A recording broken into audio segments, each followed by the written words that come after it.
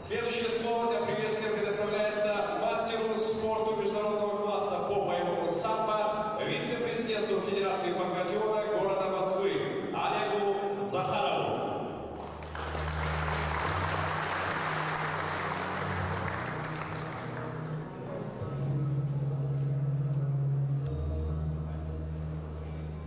Добрый день. Я присоединяюсь ко всем поздравлениям Отечества.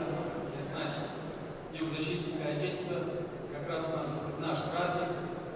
Почему? Потому что мы все спортсмены, бойцы, воины, защитники Отечества.